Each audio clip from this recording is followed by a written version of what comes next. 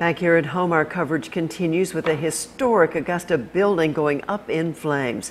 Happening right now, fire crews are monitoring hot spots at Pullman Hall on Walton Way, and that is where we find WJBF News Channel 6's Wes Cooper. Wes, it's been a long night for firefighters. Yeah, Mary, they've been working diligently and hard all night long to make sure that all the hot spots here at Pullman Hall are put out.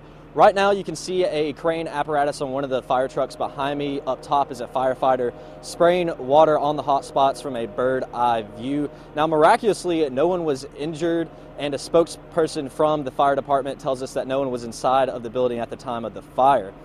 Now, uh, first responders rushed to the scene around 5 yesterday afternoon where they saw Pullman Hall completely engulfed in flames. The Sheriff's Department was also out here directing traffic as firefighters battled the blaze. The fire also caused the power to go out for several hours, but right now it is back on. To many, Pullman Hall was a catering and banquet facility. The building was remodeled in the 80s, and way back in the day, Pullman Hall used to be a train depot.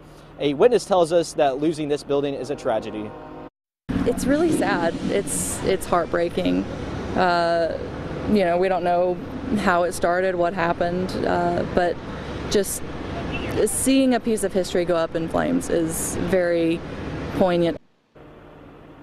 Authorities are still searching to determine the cause of the fire. Stay up to date on WJBF.com on this developing story, as well as our social media pages. Just search for WJBF.